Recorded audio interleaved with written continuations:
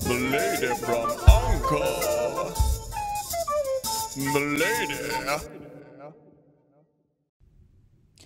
Hi, today I want to take a look at the sign in chooser, and that is the page that pops up where we see a list of all the Google accounts that have been previously signed into on the particular device that we're using or the, the, the browser that we're using or app. So for that, I'm actually signed out of all Google accounts and I'm going to click on the top right hand side where it says sign in. And there we have the list of all the Google accounts that I'm currently signed out of, but which I can easily sign into using this particular sign in chooser. Now, the I can pick any one of these four that I'm that I'm signed out of and that are listed.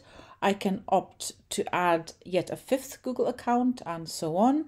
Or I can click on this option down below where it says remove an account. And by clicking on that, any one of these becomes removable. So I'm going to click on this one here and I'm being asked to confirm whether I want to remove it. Remove does not mean delete the Google account won't be deleted, it'll just be removed from the sign in page.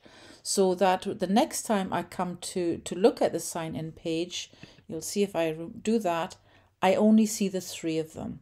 So this fourth one that I've just removed will no longer appear on the sign in chooser, which is the official name for this particular page.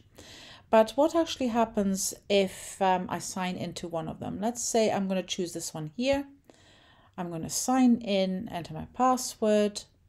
And here I'm signed into that Google account. If I click on the top right hand side again, I now have the option to remove the Google accounts from this particular page. So the two remaining Google accounts that I'm not signed into, I can sign into them or I can remove them. So this is another way to remove them from the sign in chooser. I can also sign out of the Google account I'm currently signed into and I can add another Google account. So I could re-add that fourth one that I had removed. So if I remove Griselda from Uncle and click on remove, and there we are, I'm literally just left with this other unsigned into Google account. And that is how you remove Google accounts listed on the sign in chooser. Thank you for listening and goodbye.